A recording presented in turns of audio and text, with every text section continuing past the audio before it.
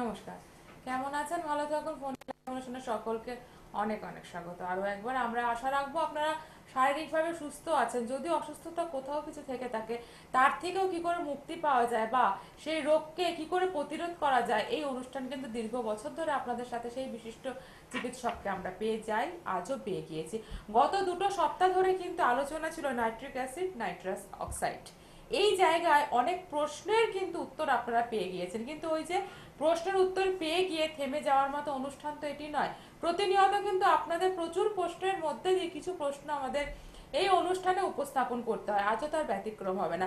আপনারা সকলেই জানেন ডক্টর কনিষ্ক সরকার গ্যাস্ট্রেন্টোলজিস্ট, বিশিষ্ট চিকিৎসক কিন্তু তিনি। তো সেখানেই যখন পেট পেটের রোগের কথা ওঠে, আলসারের কথা ওঠে, গ্যাস্ট্রিক আলসার নিয়ে সমস্যায় থাকেন বা পেটের এমন কিছু বড় কোনো রোগের কথা হয়, তখনই কিন্তু ডাক্তারবাবুর কথা মনে পড়ে। তারা প্রশ্ন করছে যারা এই বিষয়ে একটু সচেতন। তারা জানতে চাইছে যে গ্যাস্ট্রিক আলসার যদি থেকে থাকে বা পেটের কোনো গুরুতর সমস্যা থেকে থাকে, তার সাথে কি হার্টের প্রবলেমের কোনো সম্পর্ক রয়েছে? তাদের কি হার্ট অ্যাটাক, হার্টের কোনো সমস্যা হতে পারে পেটের রোগ থেকে? তার পাশাপাশি আরও কিছু মানুষ প্রশ্ন করেছে যে পেটের রোগ যেরকম রয়েছে তার সাথে ডায়াবেটিসের সম্পর্ক কি আমরা জানি যে সুগার এই বিষয়টা আমাদের এখন কম বেশি সকলের, কিন্তু একটা রোগের সাথে আর একটা রোগের সংযোগ কতটা রয়েছে, সম্পর্ক কতটা রয়েছে কানেকশন কতটা রয়েছে, একটা রোগ থেকে কি আরেকটা রোগ হতে পারে, এই প্রশ্নের উত্তর কিন্তু আজকে আপনাদের হয়ে আমি ডাক্তারবাবু থেকে অবশ্যই নেব। তার পাশাপাশি যখন আমরা ডাক্তারবাবুকে পেয়ে গিয়েছি আপনাদের জন্য ফোনের লাইভ অনুষ্ঠান লাইন খুলে দেওয়া হয়েছে। আপনারা শারীরিক যে কোনো সমস্যা নিয়ে কিন্তু ডাক্তারবাবুর সাথে সরাসরি কথা বলতে পারেন। আপনারা জানেন যে চুল চেরা বিশ্লেষণ করে এই মিডিয়ার মধ্যে কিন্তু একমাত্র ডক্টর কনিষ্ক সরকারি ফোন ফোনের মাধ্যমেও কিন্তু আপনাদের বহু শারীরিক সমস্যার সমাধানের প্রচুর উত্তর দিয়েছে। আজও তার ব্যতিক্রম হবে না। তাহলে আমরা সকলের তরফ থেকে বিশিষ্ট চিকিৎসক, প্রখ্যাত গ্যাস্ট্রেন্টোলজি ডক্টর কনিষ্ক সরকারকে জানাব অনেক অনেক স্বাগত। নমস্কার, স্যার। নমস্কার। আমার অতি প্রিয় দর্শক শ্রোতিমণ্ডলী সবার জন্য শুভেচ্ছা। সবাই সুস্থ থাকুন, ভালো থাকুন, সুন্দর থাকুন। ইচ্ছে জানিয়ে আজকে বক্তব্য শুরু করব। সেই প্রচণ্ড যে গরম পড়েছিল কালবৈশাখী এবং বৃষ্টির ফলে অন্তত দক্ষিণবঙ্গে তো আবহাওয়া খুব ভালো। আর আমি শুনেছি, উত্তরবঙ্গে নাকি আরও ভালো মানে গরমের লেশ মাত্র নেই। তো এই ভালো আবহাওয়ায় আমরা কতটা ভালো থাকতে পারব নির্ভর করছে আমরা কে কতটা একে অপরের কাছে আসতে পারি একে অপরের জন্য কিছু করতে পারি, সাহায্য করতে পারি বলুন পাশাপাশি কোনো সমস্যার সমাধান করতে পারি। যত বেশি আমরা এটা পারব, যত কাছাকাছি পাশাপাশি থাকব তত আমরা সুস্থ, সুন্দর এবং সবল থাকব। খালি এই কাছাকাছি পাশাপাশি থাকার মধ্যে একটা ছোট্ট ক্ল্যারিফিকেশন দরকার। এত কাছাকাছি পাশাপাশি যেন না হয় যে ওই তিন ফুটের ডিস্টেন্সটার ভেতরে এসে যাচ্ছি। অর্থাৎ মানুষে মানুষে যে সেই পুরনো কথা চলে আসছে গত প্রায় আড়াই বছর ধরে, যে সোশ্যাল ডিস্টেন্সিংটা বজায় রেখে কাছাকাছি পাশাপাশি আসার কথা বলছি। এবার আমি সরাসরি প্রসঙ্গে এবং আলোচনায় চলে যাব। গতদিন আমি নাইট্রিক অক্সাইড এবং নাইট্রাস অক্সাইড সম্পর্কে আলোচনা করেছিলাম। আমাদের দেহে তার ভূমিকা কি? আমাদের ভাইটাল অর্গানগুলোকে সুস্থ, সজীব এবং সক্রিয় সক্রিয় রাখতে এই গ্যাসের কি ভূমিকা এইসব নিয়ে আলোচনা করেছিলাম। আপনাদের অনেক অনেক ফোন, মেসেজ সব পেয়েছি এবং আমি দেখলাম যে যদি আপনাদের যে রিয়াকশন বা রেসপন্স সেই ভাবে বিচার করতে হয়, আপনাদের রেসপন্সটা কিন্তু ওই নাইট্রাস অক্সাইড নাইট্রিক অক্সাইড থেকে আরেকটু অন্যরকম। আপনারা জিজ্ঞাসা করেছেন অনেকে, আমি তার জন্য সেই ব্যাপারটা আগে আলোচনা করব, যে যাদের ক্রনিক কোনো পেটের রোগ আছে, বেশিরভাগ মানুষ এই গ্যাস্ট্রিকের রোগ, গ্যাস্ট্রাইটিস গ্যাস্ট্রোইসোভিজিয়াল রিফ্লাক্স ডিজিজ, আমরা আমাদের ভাষায় মানে কথ্য ভাষায় এই পশ্চিমবঙ্গে যেটাকে আমরা অম্বলের রোগ বলে থাকি তো সেই ধরনের রোগ যারা ভুগছেন, যাদের হজম ঠিকমতো হচ্ছে না, বা যাদের ঠিকমতো খাওয়া দাওয়া সত্ত্বেও কথ্য ভাষায় আবার সেই গায়ে লাগছে না, চেহারা ভালো হচ্ছে না। তো সেই সবের সাথে একদিকে হার্টের রোগ এবং আর একদিকে ডায়াবেটিসের কোনো সম্পর্ক আছে কিনা, এই প্রশ্নই নানা রকম ঘুরিয়ে ফিরিয়ে অনেকে নানা রকম ভাবে করেছেন। কথাগুলো সাজালে এই দুটো মূল প্রশ্ন উঠে আসে। আমি এই ব্যাপারটা নিয়ে কখনো আগে আলোচনা করিনি যে প্রথম প্রশ্নটা, যে পেটের রোগের সাথে, যে রোগগুলো আমি বললাম, এছাড়াও আমি কিছু পেটের রোগের কথা পরে বলব, তার সাথে হার্টের রোগের কোনো সরাসরি সম্পর্ক আছে কিনা এটা নিয়ে আমি কখনো আলোচনা করিনি। আমি গতদিন আমার আলোচনায় একদম শেষে সাডেন হার্ট অ্যাটাক এটা নিয়ে কথা বলেছিলাম। বলেছিলাম এই কারণের জন্য যে যত দিন যাচ্ছে আমি আমার রুগীদের মধ্যে যা ফিডব্যাক পাই, যা কথাবার্তা শুনি, আমার কলিগদের সাথে কথাবার্তা বলে যে খবর পাই, এবং মিডিয়াতে যা আসে, সমস্ত মিলিয়ে কেমন যেন মনে হয়, হঠাৎ আগে থেকে জানান না দিয়ে হার্ট অ্যাটাকের সংখ্যা বোধহয় একটু বৃদ্ধি প্রাপ্ত হচ্ছে। এরকম একটা মনে হয়, আমার কাছে সঠিক প্রমাণ করবার জন্য যে সংখ্যা তত্ত্ব দরকার, সেটা এখন আমার কাছে নেই। এটা আমি আমার যে ইনফরমেশনের সূত্র, যেভাবে আমি তথ্যগুলো পেয়ে থাকি, সেই তথ্যের ভিত্তিতে বলছি। হার্টের ব্যাপারে, হার্ট অ্যাটাকের ব্যাপারে, বা সেই সব একদম ডিপ আলোচনা, যারা হার্টের ব্যাপারে বিশেষজ্ঞ, তারা করবেন। আমার দায়িত্বটুকুনি হলো এই যে পেটের অসুখের সাথে হার্টের কোনো সম্পর্ক আছে কিনা এইটা মানুষকে সাবধান করে দেওয়া কারণ- প্রচুর মানুষ মানে নাইনটি পার্সেন্ট মানুষ এই সম্পর্কে কোনো খোঁজ খবরই রাখেন না, জানেনই না একদম। তো সেইটা একটু ক্লিয়ার করে দেওয়া। আর দ্বিতীয় পর্যায়ে পেটের অসুখের সাথে ডায়াবেটিসের সম্পর্ক এবং হার্টের আবার ঘুরিয়ে আসে, তার সম্পর্ক নিয়ে আলোচনা। এবং যেগুলো খুব দরকারি তথ্য যে যার জন্য চিকিৎসা উপলব্ধ, এবং চাইলেই সেগুলো প্রিভেন্ট করা যায়। প্রিভেন্ট করা মানে হলো বাংলায় আর রোগটা হবে না এরম জায়গায় আনা যায়। অনেকে আমরা তো নজর দিই না, ভাবি না অত গভীরে, ওই জন্য হয়তো এটা চোখ এড়িয়ে যায় বা ভাবনার বাইরে থেকে যায়, যার জন্য অনেক সময় হয়তো পেটের রোগ মনে হচ্ছে, কিন্তু তার থেকে হার্টের রোগও হতে পারে। প্রথমে বলছি হতে পারে। তাহলে আমি- আমি যদি খুব এত স্বল্প পরিসরে আলোচনা করতে চাই, আমি একটু ভাগ করে নিয়েছি আলোচনাটাকে এমন ভাবে করব। কারণ এটা নিয়ে যদি যাকে বলি আলোচনা করতে হয়, তো চার ঘণ্টা, পাঁচ ঘণ্টা একটা সেমিনার হয়ে যাবে। আর আমার কম সময়ের মধ্যে যদি বলতে হয়, কয়েকটা পয়েন্ট ধরে ধরে কথা বলতে হবে। প্রথম জিনিসটা, যেটাকে আমাদের কথ্য ভাষায় আমরা গ্যাস্ট্রিকের রোগ বলি, এই ধরনের কোনো কথা আমাদের মেডিকেল পার্লান্সে নেই। গ্যাস্ট্রিকের রোগ এরকম নেই। যেটা আছে সেটা হলো গ্যাস্ট্রাইটিস। এবং প্রচুর মানুষ এই নাম শুনেছেন, গ্যাস্ট্রাইটিস নাম শুনেছেন। যেটা আছে সেটা হলো গ্যাস্ট্রিক আলসার, সবাই এই নাম শুনেছেন। কিন্তু যদি আপনারা নিজেদের জিজ্ঞাসা করেন আচ্ছা গ্যাস্ট্রাইটিস তো পেটের রোগ। যারা আরেকটু জানেন তারা বুঝবেন এটা স্টমাকের রোগ মানে পাকস্থলীর রোগ। তাহলে হার্টের সাথে কি সম্পর্ক? পরিষ্কার যেগুলো প্রমাণ পাওয়া গেছে এখনকার দিনে, যেটা আগে আমরা জানতাম না, সেরকম কিছু কিছু জিনিস আমি আগে সেই পয়েন্টগুলো ছুঁয়ে যাই। সেটা হলো গ্যাস্ট্রাইটিসের কিছু কিছু ধরন আছে। অর্থাৎ ওই গ্যাস্ট্রিকের রোগের কিছু কিছু ধরন আছে। তার মধ্যে একটা ধরনের নাম হচ্ছে অ্যাট্রোফিক গ্যাস্ট্রাইটিস আমি পরে বর্ণনা করব অ্যাট্রোফিক গ্যাস্ট্রাইটিস কাকে বলে, সেটা আমি বর্ণনা করব। কিন্তু আগে পয়েন্টটা ছুঁয়ে যাই, কারণ আমার সবসময় ভয় হয় যে সময় কমে যাবে এখান থেকে বলবে যে আর নেই টাইম বন্ধ করুন ওই জন্য। অ্যাট্রোফিক গ্যাস্ট্রাইটিস এখনকার দিনে প্রমাণিত হয়েছে যে এটা একটা প্রদাহ মানে ইনফ্ল্যামেশন হয় স্টমাকের মিউকাস মেমব্রেনের মধ্যে। এবং এই ইনফ্ল্যামেশন যদি হয়, তাহলে যে কারণে ইনফ্ল্যামেশনটা হচ্ছে, সে সম্পর্কে একটু ধোঁয়াশা আছে। কিন্তু এই ইনফ্লামেশন হার্টেও অনেক ক্ষেত্রে হয়, বেশিরভাগ ক্ষেত্রে হয়। অর্থাৎ যেখানে কোনো পেশেন্ট অ্যাট্রোফিক গ্যাস্ট্রাইটিসে ভুগছেন এবং সেটা ডায়াগনোসড তাকে বা তার ডাক্তারবাবুকে কিন্তু একটা বেশি মাত্রা যোগ করতে হবে এই অসুখের মধ্যে।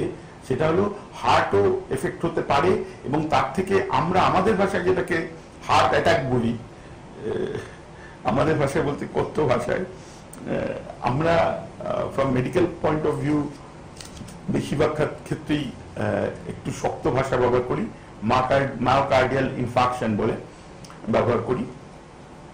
তো এই যে হার্ট অ্যাটাক মায়োকার্ডিয়াল ইনফাকশন বা হার্টের রোগ সাডেন হার্ট অ্যাটাক এরকম যেভাবে যেভাবে বলি না কেন, সেই রোগ এই অ্যাট্রোফিক গ্যাস্ট্রাইটিসের সাথে কিন্তু সম্পৃক্ত। অর্থাৎ অ্যাট্রোফিক গ্যাস্ট্রাইটিস থাকলে ওইটা হতে পারে। দ্বিতীয় গ্যাস্ট্রাইটিসে যারা অনেকদিন ভুগছেন, তাদের মধ্যে একটা ধরন আছে, তার বিভিন্ন কারণ আছে। আমি প্রত্যেকটা আগে পয়েন্টগুলো একটু ছুঁয়ে যাই, তারপরে আলোচনা করব। যাতে রক্তে হিমোগ্লোবিনের পরিমাণ কমতে থাকে। তার কিছুটা কারণ হলো একটু একটু করে রক্তপাত হওয়া স্টমাকের মধ্যে রক্তপাত হওয়া হতে পারে। আবার কিছুটা কারণ হলো ওই ইনফ্ল্যামেটরি রিয়াকশনের ফলে এবং আরও কিছু কারণের জন্য হিমোগ্লোবিন ঠিকমতো কার্যকরীভাবে তৈরি না হওয়া দুটোই হতে পারে। এবং এর ফলে একটু অ্যানিমিয়াতে পেশেন্ট ভুগতে পারে। সবার মনে হবে হ্যাঁ, হতেই পারে অ্যানিমিয়া তো সবার জানা একটা কথা, এবং এটাকে খুব একটা গুরুত্ব বা পাত্তা আমরা বেশিরভাগ মানুষ দিই না। অ্যানিমিয়া হচ্ছে বেশিরভাগ মানুষ জানেন যে ওর জন্য একটু আয়রনের ওষুধ খেলে ঠিক হয়ে যায়। এই এরকম একটা ভাব। কিন্তু যাদের ক্রনিক গ্যাস্ট্রাইটিস আছে এবং তার থেকে অ্যানিমিয়াতে ভুগছেন তাদের কিন্তু একটা হার্টের রোগ হওয়ার সম্ভাবনা অত্যন্ত বেশি থাকে। এই যে হার্টের রোগ হওয়ার সম্ভাবনা, সেটাকে আমি যদি একটু একদম মানুষকে বোঝানোর মতো করে বলতে চাই, তাহলে বলব যে হার্টকে অনেক বেশি তাড়াতাড়ি পাম্প করতে হয়। এটাকে মেডিকেল পার্লান্স বা ইংলিশে রেসি হার্ট বলে। মানে যেন রেস করছে, রেসের দৌড় দৌড়চ্ছে। সে- সেই রকম একটা ঘটনা ঘটে। এবং তার ফলে পেশেন্ট একটু দুর্বল এবং হাফ ভাব ব্রেথলেসনেস এরকম ভাব হয়। এবং যে রোগী জানেন না বা যারা সাবধান হননি, তারা মনে করেন যে, আমার খাবার তো আমি ঠিকমতো খেতে পাচ্ছি না, আমি দুর্বল হয়ে যাচ্ছি, ওই জন্য আমি হাঁপাচ্ছি। আসলে এটা কিন্তু হার্টের রোগের একটি লক্ষণ। অর্থাৎ অ্যাট্রোফিক গ্যাস্ট্রাইটিস থেকে যেমন মার্কার্ডিয়াল ইনফেকশন হতে পারে, তেমনি যারা এই গ্যাস্ট্রাইটিস থেকে অ্যানিমিয়ার শিকার, সেই অ্যানিমিয়ার পথ দিয়ে রেসি হার্ট হয়ে হার্টের রোগ হতে পারে। হার্টের রোগ বলতে আমি সেই myocardial infection sudden cardiac death sudden stoppage of heart এরকম নানা রকম কথা আছে। সেগুলো সময় পেলে পরে এক্সপ্লেন করব। এই ধরনের ঘটনা ঘটতে পারে। এছাড়াও আরেকটা খুব ইম্পর্টেন্ট আমি তৃতীয় পয়েন্টে যাচ্ছি কিন্তু।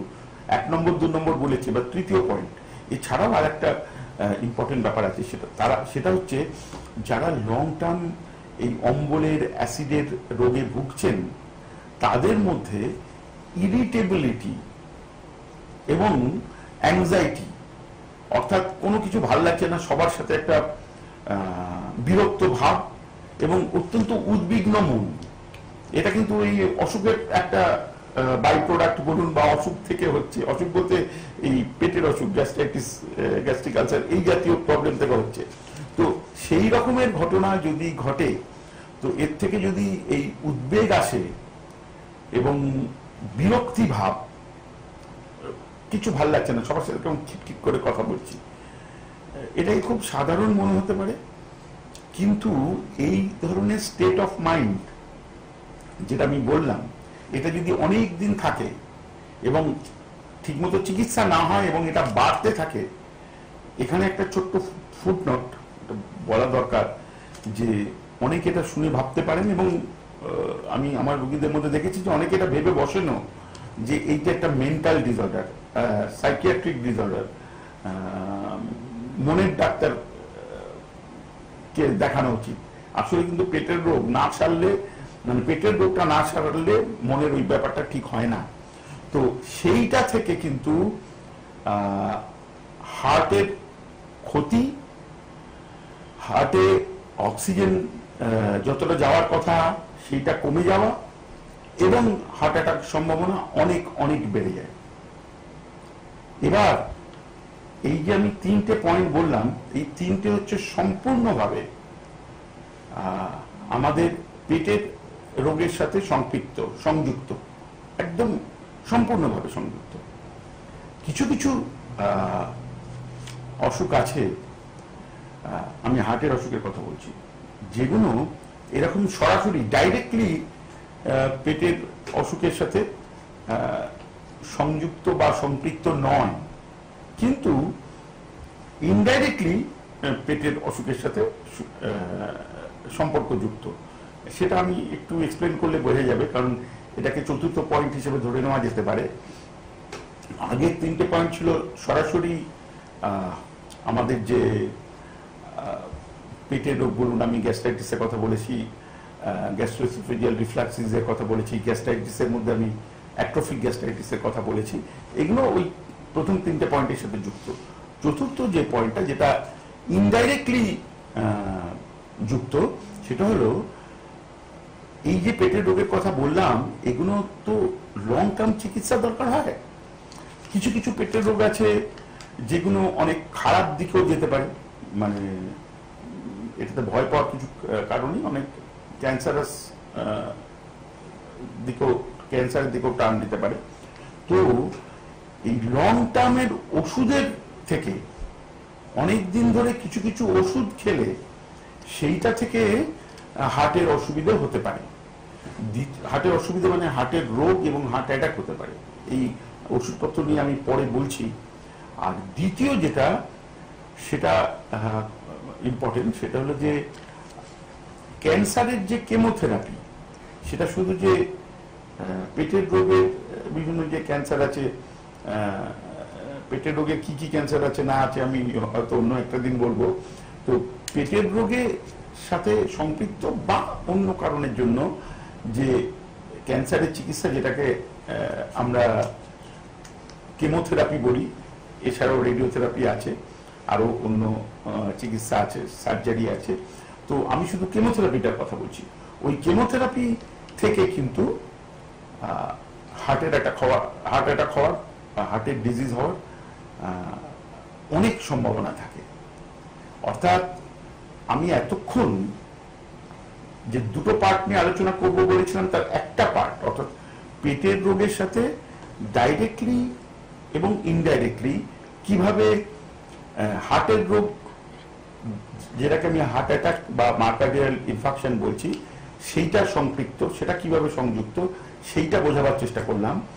দ্বিতীয় যেটা, সেটা হচ্ছে ডায়াবেটিসের সাথে পেটের রোগের এবং হার্টের রোগের এই জিনিসটা একটু পরিষ্কার করা উচিত। কারণ আমি এখনও পর্যন্ত পেটের রোগ বলতে ওই gastritis, gastric ulcer gastroesophageal reflux disease এইসব এবং ছুঁয়ে গেছিলাম ক্যান্সারের কথাটা। যেটা এর পরের প্রসঙ্গ, সেটা হলো ডায়াবেটিস মেলিটাসের সাথে। ডায়াবেটিসকে বোঝাতে হবে না, সব মানুষ বুঝে গেছেন এখনকার দিনে। ডায়াবেটিস মেলিটাস ব্যাপারটা কি? তো ডায়াবেটিস মেলিটাসের সাথে কীভাবে পেটের রোগ এবং হার্টের অসুখ, এইটা সম্পৃক্ত। সেইটা নিয়ে আলোচনা করব। এই আলোচনা করার আগে দুটো ব্যাপারে আমার রোগীদেরও বটে এবং মানুষ যারা একটু সচেতন থাকতে চান তাদের জন্য কয়েকটা ইনফরমেশন বলে দেওয়া দরকার। প্রথম হলো এই যে পেটের রোগের সাথে সরাসরি হার্টের রোগের কানেকশন আছে, এটা তো ডাক্তারবাবুরা এখন জেনে গেছেন। এবং জেনে যাওয়ার ফলে, যেটা কিন্তু অনেকদিন আগে আমরা জানতাম না এখন জেনে যাওয়ার ফলে ডাক্তারবাবুরা অনেক সচেতন, অনেক সাবধান করেন। এবং আপনার যিনি রুগী, তার যদি পেটের রোগ, আমি যেগুলো বললাম সব থেকে কমন ধরুন অম্বলের রোগ, বুক জ্বালার রোগ এরকম থেকে থাকে, তাহলে একটিবার ডাক্তারবাবু একটু জিজ্ঞাসা করে নেবেন। যে ডাক্তারবাবু, আমার কি এটা থেকে হার্টের কোনো অসুবিধা হতে পারে? তার জন্য কি আপনি বিশেষ কোনো পরীক্ষা নিরীক্ষা আমাকে করতে দেবেন? এইটা জিজ্ঞাসা করে নিতে পারে, কারণ খুব সাধারণ কিছু পরীক্ষা নিরীক্ষা তে পেটের রোগ থেকে কোনো রকম ভাবে হার্ট এফেক্ট করছে কিনা, এটা বোঝা যায়। এবং এটাকে পুরোপুরি সারানোর এটাকে বলতে মূল যে ব্যাপারটা পেটের রোগ যেটা থেকে এফেক্ট করছে হার্টকে সেই পেটের রোগ পুরোপুরি সারানো যায়। এবং ঠিকভাবে চিকিৎসা করে পুরোপুরি সারিয়ে ফেললে হার্টের যে ক্ষতি হওয়ার সুযোগ থাকতো, সেই সুযোগ থাকে না। এই এই কথাটা কেন আমি বলছি এবং কেন একটু বেশি জোর দিচ্ছি? বাস্তবে কিন্তু আমার যে অভিজ্ঞতা, তাতে আমি দেখেছি প্রচুর মানুষ কেন জানি না এটা ধরে নেন যে এই ধরনের পেটের রোগ, গ্যাস্ট্রিকের রোগ, অম্বলের রোগ আমরা যেটাকে গ্যাস্ট্রোইসোফেজিয়াল রিফ্লাক্স ডিজিজ বলি, সেই ধরনের রোগ কখনো সারে না। এরকম একটা ধারণা আছে।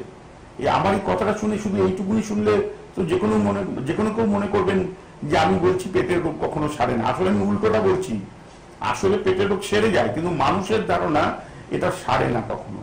সেই জন্য তারা এরকমভাবে প্রোগ্রাম তাদের চিন্তাধারা এইভাবে প্রোগ্রাম থাকে যে ডাক্তারবাবুকে জিজ্ঞেস করেন যে, ডাক্তারবাবু কোন কোন জিনিস খাব না? কি কি বাদ দেবো? আমার কাছে অনেক রুগী এইভাবে আসেন, যারা ধরুন দুধ এবং দুধ জাতীয় মানে অল ডেয়ারি প্রোডাক্টস বর্জন করেছেন।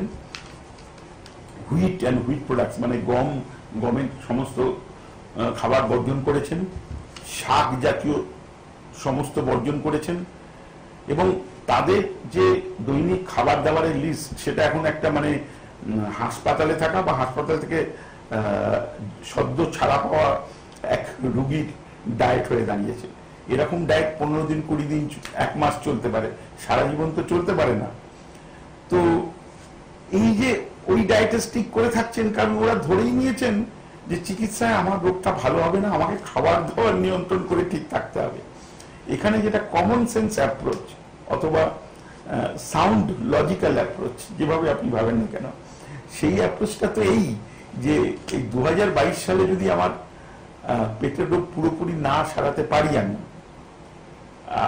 কারণ চিকিৎসা ব্যবস্থা তো অনেক উন্নতি করেছে, তাহলে দু হাজার বাইশ সালেও কি আমাকে সেই পুরোনো দিনের মতো শুধু মুড়ি বিস্কুট খেয়ে, আর ওই মানে আঝোলা মানে তেল না দেওয়া, মশলা না দেওয়া খাবার খেয়ে চালাতে হবে সারাটা জীবন?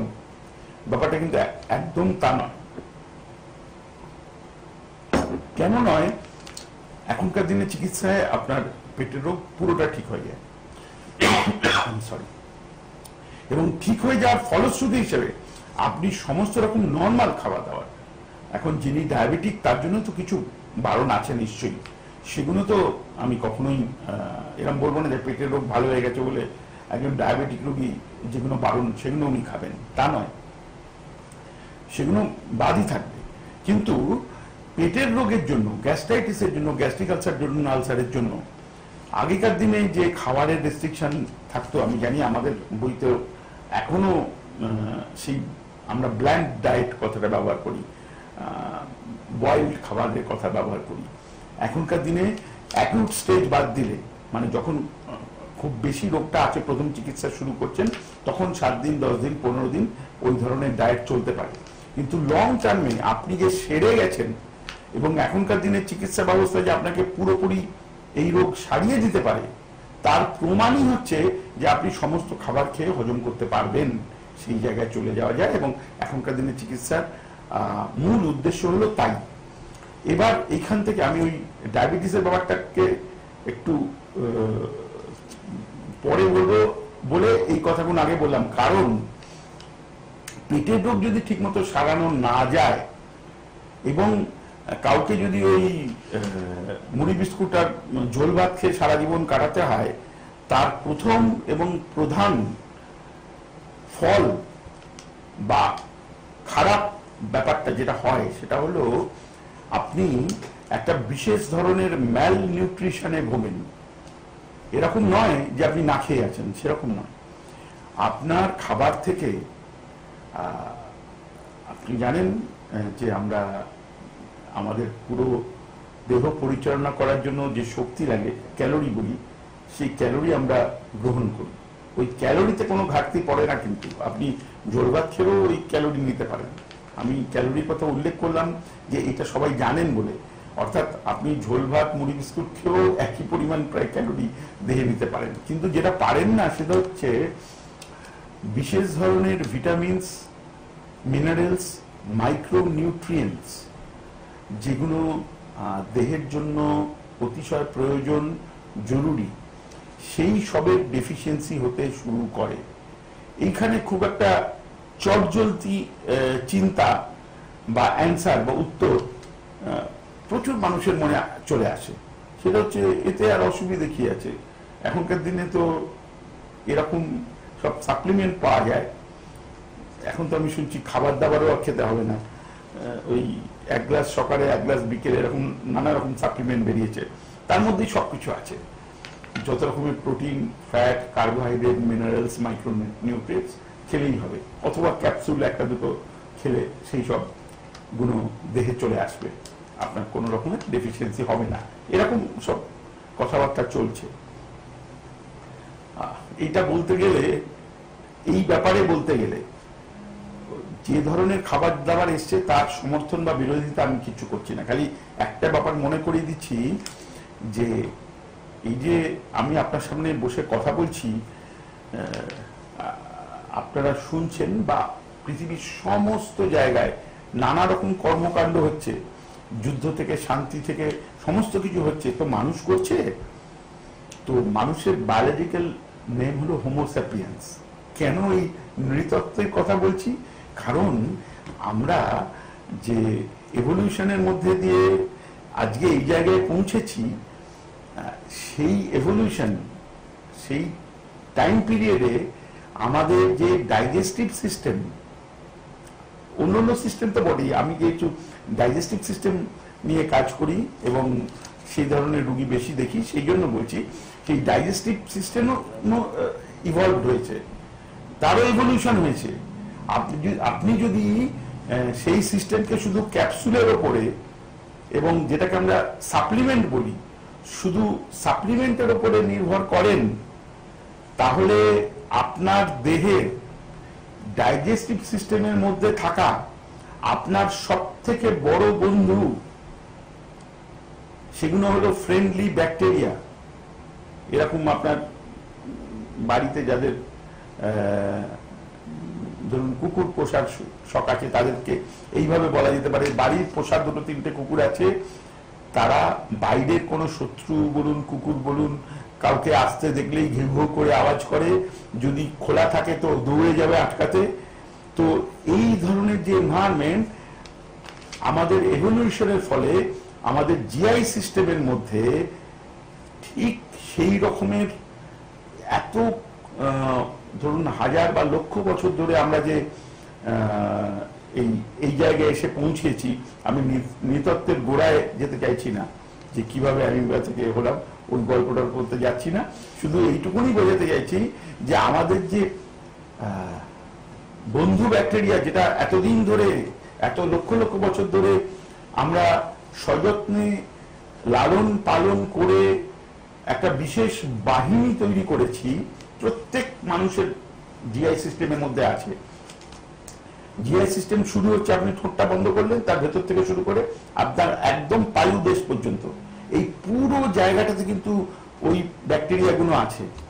আপনি যদি নর্মাল খাবার দাবার যেরকম মানুষের এখন খায়, সেই সব খাওয়া বর্জন করে শুধু ওই ক্যাপসুল এবং সাপ্লিমেন্টের মধ্যে থাকেন থিওরিটিক্যালি আপনার ওই ভিটামিন মিনারেলসের যে প্রয়োজনটা, সেটা থিওরিটিক্যালি আপনি পূরণ করছেন। কিন্তু প্র্যাকটিক্যালি আপনি আপনার সব থেকে বড় সৈন্যবাহিনীকে একদম নিরস্ত্র করে দিচ্ছেন?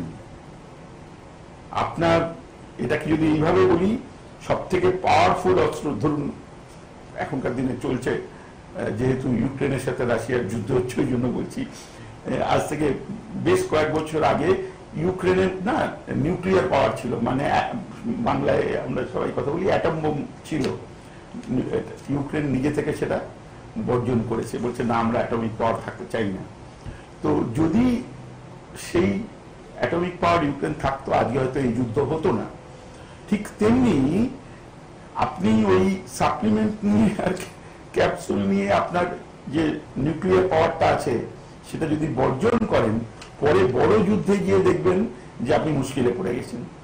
অর্থাৎ যতটা সম্ভব ন্যাচারাল নর্মাল খাবার দাবারে ফিরিয়ে আনা হলো আমাদের সমস্ত ডাক্তারদের যারা আমরা রুগী দেখি, তাদের এবং বিশেষ করে স্পেসিফিক্যালি যারা পেটের রোগের রুগী দেখি, তাদের উদ্দেশ্য এবং তাদের এটা মনের ভেতরকার ইচ্ছা। সবসময় যে আমি এতক্ষণ ধরে এটা ইলাবোরেট করছি, মুখে বলছি, এটা যে সবাই বলেন তা নয়। কিন্তু তারাও চেষ্টা করেন কি করে রুগীকে নর্মালসিতে ফিরিয়ে আনব নর্মাল খাবার দাবারে ফিরিয়ে আনব। তবে হ্যাঁ যদি এরকম হয় যে আমি দেখছি যে কোনো বিশেষ কারণের জন্য তার কিছু একটা সাপ্লিমেন্টের দরকার আছে কিছু দিনের জন্য, সেটা দিতে কোনো আপত্তি নেই। সেইভাবে চলতে পারে। আমি এই কথাগুলো বলে নিলাম। ডায়াবেটিসের সাথে আমাদের পেটের রোগের এবং হার্টের রোগের সম্পর্ক আছে কি নেই বা কতটা আছে, সেইটা বলবার আগে একটা ভূমিকা করে নেওয়ার জন্য। এবার আমি সরাসরি আমাদের জিআই ট্র্যাক্টের সাথে, অর্থাৎ আমাদের পেটের রোগের সাথে ডায়াবেটিসের সম্পর্ক নিয়ে বা যারা অলরেডি ডায়াবেটিসে ভুগছেন মানে নন ডায়াবেটিক তাদের এই পেটের রোগ গ্যাস্ট্রাইটিস গ্যাস্ট্রোইসোফেজিয়াল রিফ্লাক্স ডিজিজ এইসবের কি সম্পর্ক আছে, কি নেই, সেটাই, সেই আলোচনায় যাব। আমি প্রথমে বলতে চাইছি যে যাদের কোনো ডায়াবেটিস নেই মানে ব্লাড সুগার লেভেল নর্মাল কিন্তু তারা অনেক দিন ধরে গ্যাস্ট্রাইটিস গ্যাস্ট্রিক আলসার জর্নাল আলসারে ভুগছেন এবং কিছুদিন ভালো থাকেন কিছুদিন থাকেন না। কারুর বুক জ্বালা কমে না। কারুর খাবারের পরে মানে কিছু খাবারের পরে পেট ফুলে রয়েছে, পেটে অস্বস্তি। অথচ ইচ্ছে আছে খাবার খাওয়ার। কিন্তু খাবার খেতেই, একটুখানি খাবার খেতেই পেট ফুলে রয়েছে। পাচ্ছেন না। কেন এরকম?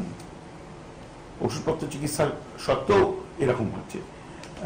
গলার কাছে একটা পুটলি মতো আটকে রয়েছে। মনে হচ্ছে ঢোক গিললে পারবেন, কিন্তু ঢোক গিললে নামছে না। এগুলো খুব মানে কমন সিমটম অম্বল, বুক জ্বালা, টক ঢেকুর তো আমি বাদ দিলাম, কারণ এটা এটা মানুষের জানা।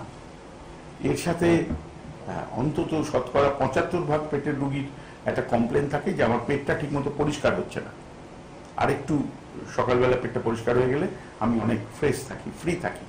তো এই যে পুরো সিমটম কমপ্লেক্স এই যে সিমটম কমপ্লেক্স এর সাথে যে রোগটার কোনো ডায়াবেটিস নেই, তার যদি অনেক দিন ধরে এই রোগটা থাকে, তাহলে তার থেকে কি ডায়াবেটিস বা, আমি হার্টের রোগের কথাটা আগে বলে দিচ্ছি, ওই জন্য এখন হার্টের রোগের উল্লেখ করছি না। ডায়াবেটিস হতে পারে কি? এই, এরকম একটা প্রশ্ন অনেকের মনে থাকে।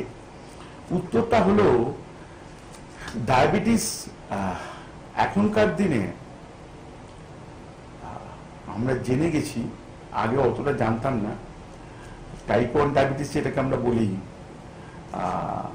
যেটা তিরিশ বছরের কমে হয় প্যাঙ্কিয়াস খারাপ হয়ে গেলে হয় আমি একটা ফোন নিয়ে উত্তর দেবো। হ্যাঁ আমি ডক্টর সরকার লাইনে আছি। হ্যাঁ নমস্কার নমস্কার। আপনি কে বলছেন থেকে বলছেন? ট্যাংরা থেকে কে বলছেন? নাম বলুন। বান্টি পাত্র হ্যাঁ বলুন বলুন। মোটা হয়ে যাচ্ছেন মানে আপনার ওজন কত? আচ্ছা আচ্ছা। আপনার বয়সটা একটু দয়া করে বলবেন হ্যাঁ এজটা বয়সটা বলুন। আচ্ছা আচ্ছা ঠিক আছে। তাহলে আহ, এই নব্বই কেজি ওজন কমিয়ে বাহাত্তর পঁচাত্তরে করবার জন্য আপনি কোনো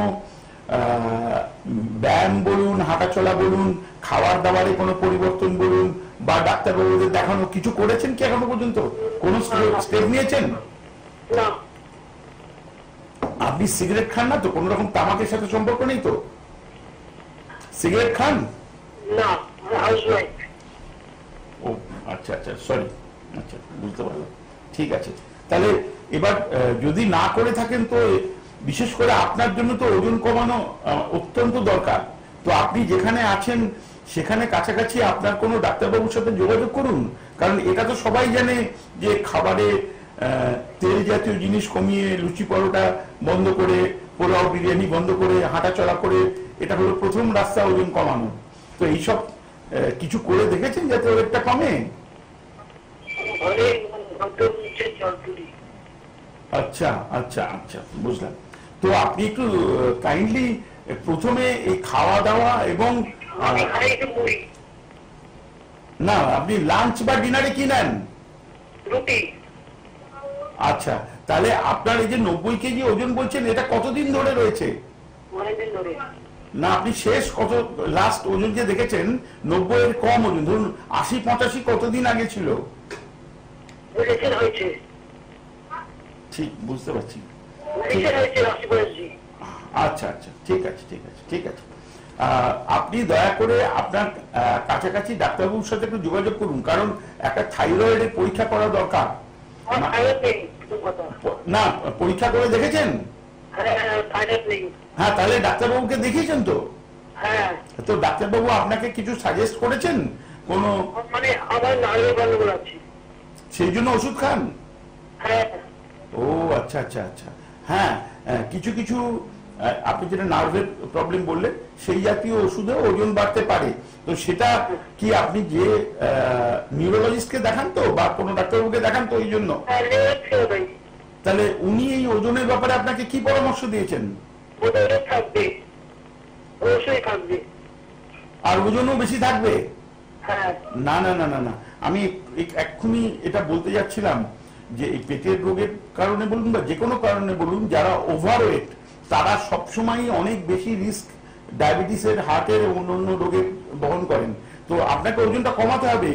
আপনাকে আমি দুটো রাস্তা সাজেস্ট করছি। একটা হচ্ছে আপনি কাছাকাছি যেহেতু আপনার নিউরোলজিস্ট এই ব্যাপারটাতে হয়তো উনি শুধু আপনার ওই নিউরোলজিক্যাল প্রবলেমটাকেই ডিল করছেন। আপনি অন্য কোনো ডাক্তারবাবুর সাথে যোগাযোগ করুন, এটা ডাক্তারবাবুদের কাজ। যদি ডাক্তারবাবুদের, অন্য ডাক্তারবাবুর সাথে যোগাযোগ করেও আপনার কোনো প্রশ্ন থাকে এবং মনে করেন যে আপনার কাজ হচ্ছে না, আমার হেল্পলাইন যাচ্ছে, পরে আমার হেল্পলাইনে যোগাযোগ করুন, আমি আপনাকে অ্যাডভাইস দেবো এবং এই ওজন রাখা কোনো কাজের কথা নয় একজন হাউস ওয়াইফের জন্য। আপনার ওজন, আমি যা বুঝতে পারছি, এটা সত্তর, পঁচাত্তর ম্যাক্সিমাম অর্থাৎ পনেরো কিলো ওজন আপনার অবশ্যই কমানো দরকার। এবং সেই ব্যাপারে আপনি আপনার কাছাকাছি ডাক্তারবাবু যদি তাতে না হয় আমার হেল্পলাইনে যোগাযোগ করতে পারেন। ঠিক আছে। আমি তাহলে লাইনটা বিচ্ছিন্ন করছি। হ্যাঁ ধন্যবাদ। এই ফোনটা আসলো আমি কিন্তু ঠিক এই জায়গাতে যা- যাচ্ছিলাম যে ডায়াবেটিস রুগী যার ধরুন পেটের রোগে ভুগছেন অনেক মানুষ আছেন তো তাদের থেকে, তাদের সাথে ডায়াবেটিসের সম্পর্ক বলতে গেলে আমি type one and type two ডায়াবেটিসের দুটোর কথা বলব। তার আগে টাইপ ওয়ানের কথা প্রথম বললাম এই কারণের জন্য মানে একদম থিওরিটিক্যালি দেখতে গেলে এবং যুক্তি দিয়ে ভাবতে গেলে টাইপ ওয়ান ডায়াবেটিস একটা পেটেরই রোগ। এই কথাটা শুনে অনেকে হয়তো আমার বিরোধিতাও করবেন যে কি বলছেন? একটা টাইপ ওয়ান ডায়াবেটিস পেটের রোগ। আমি এই কারণের জন্য বলছি যে টাইপ ওয়ান ডায়াবেটিস মানে হচ্ছে প্যাঙ্ক্রিয়াস খারাপ। এবং প্যাঙ্ক্রিয়াস আমাদের একটা পেটের মধ্যে থাকা অর্গ্যান বলুন এবং এর চিকিৎসা আমরাই করি। তো এই জন্য যদি টাইপ ওয়ান ডায়াবেটিস থেকে আমরা পেটের রোগ বলি, তাতে কোনো অত্যুক্তি হয় না। তো পেটের রোগের সাথে সম্পর্ক বলতে প্যাঙ্ক্রিয়াস তার যে বিশেষ ধরনের কোষের সমাহার যেগুলো ইনসুলিন তৈরি করে, কারণ প্যাঙ্ক্রিয়াসের আর- মূল কাজ কিন্তু আর একটা, সেটা একদমই আমাদের হজমের কাজ করা প্যাংক্রিয়েটিক জুস তৈরি করা। সেই প্যাংক্রিয়াস নিয়ে যারা জানেন, তারা জানেন যে প্যাংক্রিয়াসের এক্সোক্রিন এন্ডোক্রিন ফাংশন আছে। আমি ভেতরে যাব না, আমি হ্যাঁ আমি বুঝতে পারছি যে পাঁচ মিনিট সময় আছে। তো এই যে প্যাংক্রিয়াসের যে কোষগুলো ইনসুলিন তৈরি করে, এই নামটাও অনেকে জানেন, একসাথে যে জায়গায় থাকে সেটাকে আইলেক্স অফ ল্যাগারন্স বলে। তো সেই কোষগুলো ঠিকমতো ইনসুলিন পরিমাণে বা তার কোয়ালিটি ভালো নয়, সেক্ষেত্রে টাইপ ওয়ান ডায়াবেটিস মেলিটাস হয় এবং কম বয়সে শুরু হয়। তিরিশ বছরের আগে হলে আমরা বলি যে টাইপ ওয়ান ডায়াবেটিস মেলিটাস বা জুভেনাইল ডায়াবেটিস মেলিটাস এবং এর চিকিৎসা আলটিমেটলি আমাদের ইনসুলিন দিয়ে করতে হয় এবং এখনকার দিনে ইনসুলিন ডেলিভারি সিস্টেম এত উন্নত হয়েছে যে আগেকার দিনের মতো ইনসুলিন নিয়ে আর ভয় পাওয়ার ব্যাপার কিছু নেই। দ্বিতীয় যেটা যেটা নিয়ে আমি সবথেকে বেশি রোগী ভোগ ভোগেন সেটা টাইপ টু ডায়াবেটিস মেলিটাস তার সাথে পেটের রোগের কোনো সম্পর্ক আছে কিনা? উত্তরটা খুব দুঃখের হলো একদম আছে। টাইপ টু ডায়াবেটিস মেলিটাস তার আমি তো বললাম টাইপ ওয়ান ডায়াবেটিস মেলিটাস আসলে পেটেরই রোগ। এবার ওটা বাদ দিয়ে আমি টাইপ টু ডায়াবেটিস মেলিটাসে যাচ্ছি, যেখানে প্যাঙ্ক্রিয়াস ঠিক থাকতেও পারে। যেখানে আপনার পেরিফেরাল ইউটিলাইজেশন অফ গ্লুকোজ ঠিক মতো হচ্ছে না। হ্যাঁ আমি সংকেত সংকেত পাচ্ছি যে অনেক কম সময়। কিন্তু আমার এই আলোচনা আগে আগামী দিনও বজায় রাখব। আমার অতি প্রিয় দর্শক শ্রোতী মণ্ডলী, আজকের জন্য ফোন না করলে ভালো। আমি যেটুকুনি বলতে চাই, তার প্রথম অংশটা বলতে পারব। সেটা হচ্ছে টাইপ টু ডায়াবেটিস মেলিটাস ওই অর্থে যে পেটের রোগ তা নয়, যেটা, যে অর্থে টাইপ ওয়ান ডায়াবেটিস মেলিটাস পেটের রোগ। কিন্তু টাইপ টু ডায়াবেটিস মেলিটাসের ক্ষেত্রে যারা গ্যাস্ট্রাইটিসে ভুগছেন গ্যাস্ট্রিক আলসারে ভুগছেন যারা ইরিটেবল বাউল সিন্ড্রোমে ভুগছেন ইভেন যারা নানা রকম ইনফ্লামেটরি বাউল ডিজিজ বলি, আমি কম সময় বলে এটাকে এক্সপ্লেন করতে পারছি না নেক্সট দিন করব এইসব রোগে ভুগছেন তারা তারা কিন্তু আমাদের কথা প্রণ মানে তাদের টাইপ টু ডায়াবেটিস মিলিটাস হওয়ার চান্স অন্য মানুষের থেকে যারা ভুগছেন না, তাদের থেকে বেশি। আমি বলেই দিয়েছি, আমি দুটো ভাগে ভাগ ভাগ করে আলোচনা করব। এখন আমি তাদের কথা আলোচনা করছি, যাদের ডায়াবেটিস নেই, শুধু পেটের রোগ আছে, আমি তাদের কথা বলছি টাইপ টু ডায়াবেটিস মিলিটাস নেই বলতে গিয়ে। এর পরের দিন আমি বলব, যাদের ডায়াবেটিস আছে এবং পেটের রোগ আছে, সেটা নিয়ে। তো এবার কীভাবে যার ডায়াবেটিস নেই, অথচ টাইপ টু ডায়াবেটিস মিলিটাসের কথা বলছি আমি, সেটা নেই অথচ পেটের রোগ রয়েছে, সেটা কি করে টাইপ টু ডায়াবেটিস মিলিটাসটাকে এফেক্ট করতে পারে? আমাকে ওখানে সংকেত দেওয়া হচ্ছে যার সময় নেই। আমি কুড়ি সেকেন্ড সময় একটু ধার করে নিচ্ছি।